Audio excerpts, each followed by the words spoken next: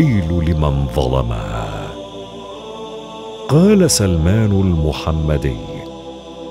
قال رسول الله صلى الله عليه وآله وسلم يا سلمان من أحب فاطمة ابنتي فهو في الجنة معي ومن أبغضها فهو في النار.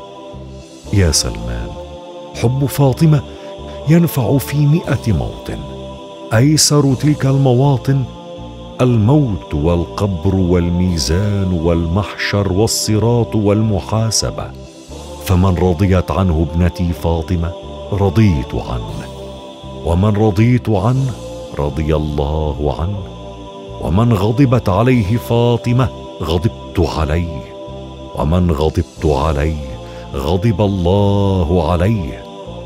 يا سلمان ويل لمن ظلمها ويظلم ذريتها وشيعتها.